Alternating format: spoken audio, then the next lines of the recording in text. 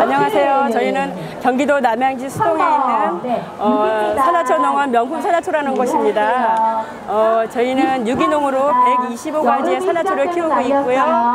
어, 유기농 토종민들레 하얀 민들레를 비롯해서 많은 약초를 키우고 있습니다. 그래서 어, 그 산하초들로 만들고 있는 것들은 뭐 민들레 진액도 만들고 또 여러 가지 발효 원액도 만들고 장아찌 또 여러 가지 뭐 민들레차 외에 뽕잎차 이런 것들을 만들고 있는 농원이고요.